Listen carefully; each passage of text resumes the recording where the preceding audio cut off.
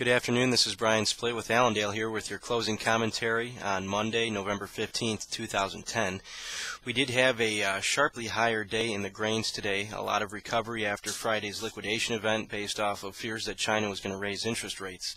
Um, on the corn market, we did finish uh, 21 and a half cents higher at 555 and a half in the nearby December contract. December 11 was up nine and three quarters at 519. On the soybean side, we were up 17 and a half in January at 1286 and a half. November 11 up 17 cents at 1194. On the wheat, we were up three and a half in the nearby December Chicago at 672 and three quarters. The new crop July 11 was up three and three quarters at 748 and a half. Uh, the trade that we saw today was actually very similar to the trade that we saw uh, from that October 19th and 20th time frame when China actually raised its interest rates a quarter percent. So we had the sharply lower trade on the actual interest rate uh, raise, and then the next day it was deemed as overdone, and the market was sharply higher, uh, uh going on to make new highs after that. So uh, very similar trade today. Uh, the only difference is that China actually did not raise rates. All the talk was fruitless. the market still seems to be in agreement that they're going to raise rates but uh, probably not until towards the end of the year. So we're going to continue to see some choppy trade. Uh, this market is obviously uh, going all in in any direction based on any news that it sees here. So we can still look for a lot of volatility. And as long as you're growing accustomed to a lot of the chart points, there is a lot of, of uh, opportunity in these markets on both sides. Now we did have the funds buy about 15,000 contracts of corn today after selling about 30,000 on Friday. So again, a lot of these guys jumped right back into the long side. Um, we had another 400,000 tons of sales uh, announced this morning of corn, and uh, that's about two thirds of the total sales reported on last week's export report. So that was a, a, good amount of corn bought this morning. That is also supportive to the market. And we also had talk that uh, China and Argentina were in dealings for China to import somewhere between uh, talks of 5 to 8 million tons of corn. Uh, most importantly is the fact that China is into the corn market buying corn. And if this uh, rumor is correct, then that could potentially uh, push a lot of the other business back towards the United States since Argentina typically does not sell uh, corn to China. So that big picture is bullish. Um, we would suggest that you keep an eye on the 10 and 20 day moving averages on December corn near 570.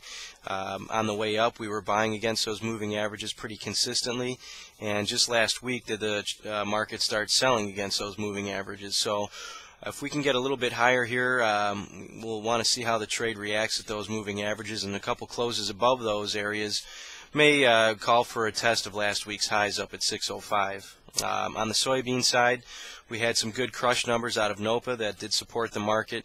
Um, also, we had 105,000 tons of soybeans sold to an unknown buyer. Had some oil uh, also sold this morning. So some uh, good fundamental purchases to support the market. Um, we did have strong buying at the 20-day moving average overnight, which really catapulted this market up uh, at one point almost 55 cents off of the overnight low. Um, trade above $13 mid-session was rejected, so again we may look for this market to trade uh, short-term in a sideways range between some of these moving averages, looking for a breakout in the near term to happen. Uh, and keep an eye again on the um, on the 1250 area below us and uh, the 1315 area above us on this January contract. Uh, on the wheat, we had 100,000 tons sold to Iraq, and again, that is uh, mildly supportive to the wheat market. We are still watching the dry weather in the plains and uh, whether or not that's going to continue to uh, cause harm to the to the crop conditions at this point. But uh, we're going to look for again choppy trade in this wheat market, uh, potentially until the corn or soybean market makes a decision on which direction it's going to continue to go here. On the outside uh, markets, we had uh, some action in the meats, a little recovery again from last week's sell-off. One of the features today was some spread unwinding. We did have the cattle market recover almost all of Friday's losses. Uh, but uh, talk of increased feedlot show lists are helping uh, limit today's gains. It looks like we did have cash beef, beef prices improving. That was supportive with box beef up 96 here. So um, we are still looking for some uh, higher prices on the uh, April contract uh, up to the 108 area next objective on the uh, fat cattle. On the hog end, we had uh, buying of the December and selling of the February and April contracts featured today.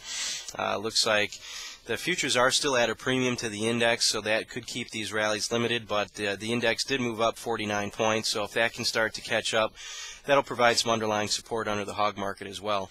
Um, looks like as far as stock market, we've got uh, the Dow trading about 40 points higher going into the last uh, 45 minutes of trade.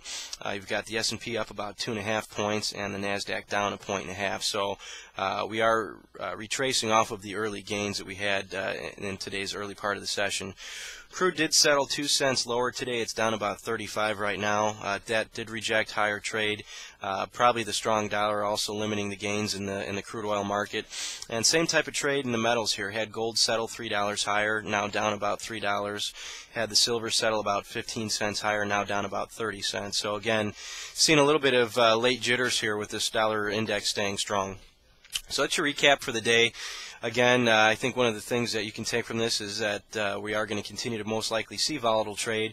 We've got uh, some policy changes uh, currently being look, looking forward to from China, and uh, we got to keep an eye on this dollar index for long-term uh, direction for these commodities. So if you have any questions, please give us a call at 1-800-2-MARKET. That's 1-800-262-7538. You can also look at our research online at www.allendale-inc.com. And again, our conference is going to be January 21st and 22nd. So go ahead and give us a call and get yourself registered for that. So this is Brian Split with Allendale with their closing commentary. Good luck trading this week. Thank you.